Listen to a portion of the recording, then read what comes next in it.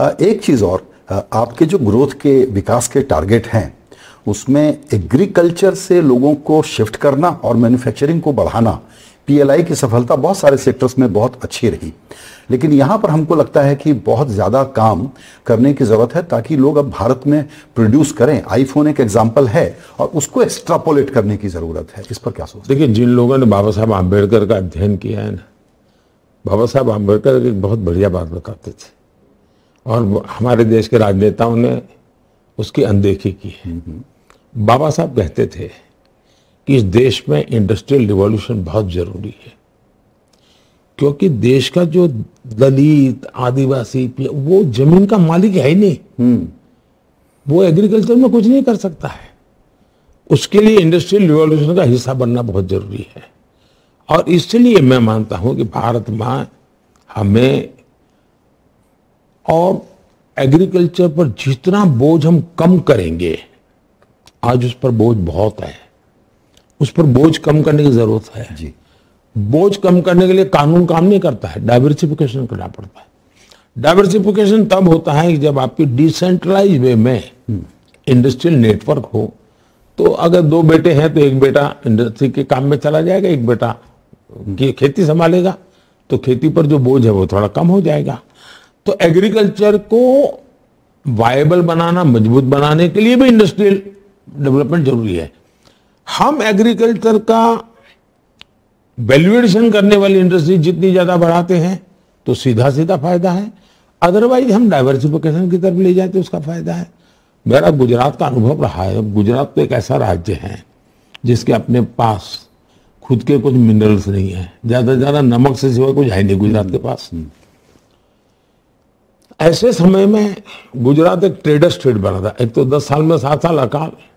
तो एग्रीकल्चर में भी हम पुअर थे। एक जगह से माल लेते थे, दूसरी जगह पे देते थे और कुछ कमा करके गुजारा करते थे। उसमें से रिवॉल्यूशन आया। एग्रीकल्चर में रिवॉल्यूशन आया। इंडस्ट्री में रिवॉल्यूशन आया। वो मेरा अनुभव यहाँ मुझे बहुत काम आ रहा है। और उसके कारण मैंने और हमारी इंडस्ट्री को हमने क्लस्टर डेवलप करने चाहिए। मैं क्लस्टर को। जैसे मेरे एक छोटी सी स्कीम है one district one product. One district one product district की पहचान बन रही है और उसमें वैल्यूएशन हो रहा है। टेक्नोलॉजी आ रही है क्वालिटी आ रही है। अब आज देखिए भारत में ऑटोमोबाइल इंडस्ट्री के लिए बहुत बड़ी संभावना है। इलेक्ट्रिक व्हीकल के लिए बहुत हमने स्पेस को ओपन अप कर दिया। मैंने देखा स्पेस में इतने स्टार्टअप्स आए हैं कि सारे स्टार्टअप टेक्नोलॉजी को लीड कर रहे हैं।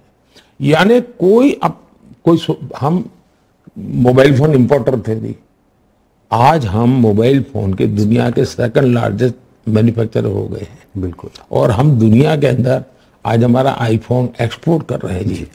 दुनिया में सात में से एक आईफोन हमारे यहाँ होता है। बिल्कुल। वैसा ही मैं बताऊँ गुजरात में जो मेरा डायमंड का अनुभव रहा।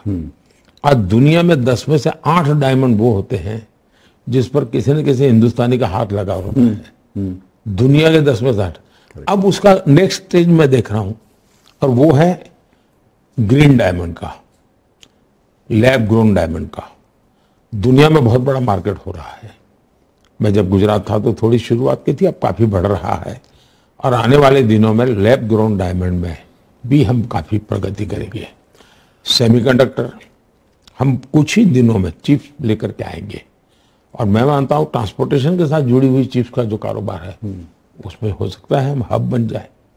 हम डिफेंस मैन्युफैक्चरिंग में बहुत तेज़ी से काम कर रहे हैं। बहुत बड़ी मात्रा में लोग करीब एक लाख करोड़ रुपए का डिफेंस प्रोडक्शन आज मेरे देश में शुरू हुआ है। जी। करीब इक्कीस हज़ार करोड़ का डिफेंस एक्सपोर्ट हुआ है हमारा देश नहीं ना हम हर छोटी चीज़ बाहर से लाते थे। तो हमारे जो एंटरप्रेनर्स हैं उनको भी लगा है अब हम बना सकते हैं। और दुनिया हमारे लिए खरीद रही है। तो मैं समझता हूँ कि भारत पूरी तरह इंडस्ट्रियल रिवॉल्यूशन में टेक ऑफ़ स्टेज पर है।